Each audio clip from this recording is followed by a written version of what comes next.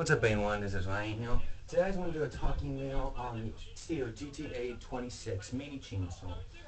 Now, I'm hoping at some point this thing will get used this month. Hopefully I get this thing used again at some point because, um, well, I want to make sure this thing still go goes a second because I don't know how long this thing's been sitting here ever since, but, um, yeah, I mean, you can tell. Really nice looking um, chainsaw in my opinion. You can tell it does a really good job in my opinion. And most of the time you base on how much you spend at this machine.